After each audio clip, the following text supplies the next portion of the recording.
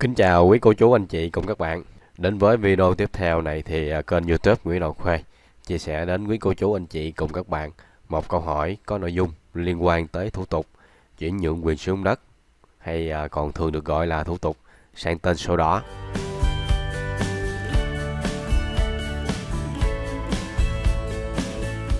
Nội dung của câu hỏi này cụ thể như sau. Cho em hỏi, em mua đất qua người bán nhưng ờ, tên sổ lại là người khác, thì người trong sổ có phải đến ký tên hay không? Nội dung của câu hỏi này thì được một chị khán giả có tên là Hằng Quyết bình luận trong một video có tên, tiêu đề là tư vấn thủ tục sang tên sổ đỏ giấy chứng nhận quyền sử dụng đất, để ờ, trả lời ờ, cho câu hỏi của chị Hằng và chia sẻ đến quý cô chú, anh chị cùng các bạn thì kênh YouTube Nguyễn Đoàn Khuê chia sẻ một số nội dung như sau. Thứ nhất, theo nội dung trong ờ, bình luận của chị Hằng thì ờ, việc đầu tiên mà chị nên làm đó chính là cần phải kiểm tra xem cái ờ, người bán cái người đang trực tiếp làm việc với mình là người được ủy quyền của chủ đất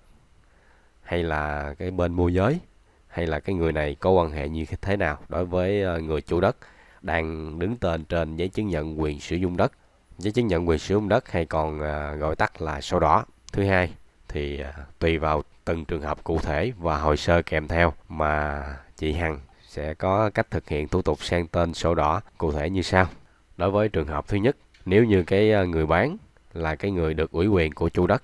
thì chị Hằng cần phải kiểm tra các văn bản ủy quyền của người này. Cụ thể thì cái văn bản ủy quyền phải được công chứng hoặc là chứng thực. Văn bản ủy quyền này phải còn hiệu lực Đồng thời trong cái văn bản ủy quyền phải có nội dung là ủy quyền cho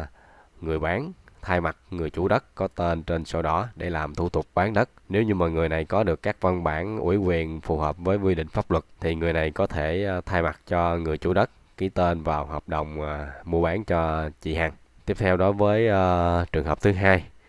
nếu như mà cái người đứng ra bán cho chị Hằng là cái bên trung gian môi giới thì cái người chủ đất có tên trên giấy chứng nhận quyền sử dụng đất sẽ là người trực tiếp ký tên vào cái hợp đồng và thực hiện cái ờ, thủ tục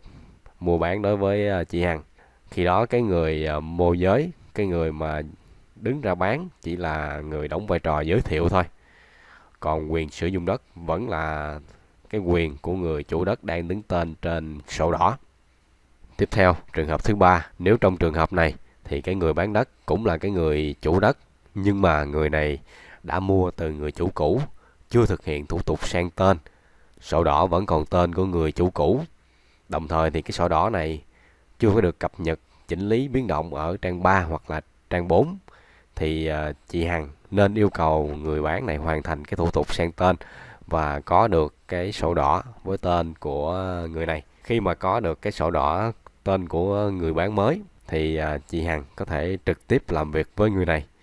nhằm tránh phát sinh những cái vấn đề tranh chấp đáng tiếc có thể xảy ra. Cuối cùng thì à, khi mà thực hiện thủ tục mua bán đất, chị Hằng cần phải kiểm tra kỹ các thông tin về tranh chấp đất, quy hoạch của thửa đất và sổ đỏ giấy chứng nhận quyền sử dụng đất cũng như là thông tin về người chủ đất cùng với các loại giấy tờ tùy thân khác của người này. Hy vọng những nội dung trên sẽ phần nào giải đáp được thắc mắc của chị Hằng kênh youtube Nguyễn Đoàn Khuê. Xin cảm ơn ờ, nội dung câu hỏi của chị. Ngoài ra, nếu quý cô chú, anh chị cùng các bạn có những vấn đề liên quan, có thể để lại ý kiến của mình trong phần bình luận để cùng nhau chia sẻ và trao đổi. Đến đây thì kênh youtube Nguyễn Đoàn Khuê xin ờ, phép kết thúc video. Chân thành cảm ơn quý cô chú, anh chị cùng các bạn đã quan tâm theo dõi. Trân trọng kính chào và hẹn gặp lại trong những video lần sau.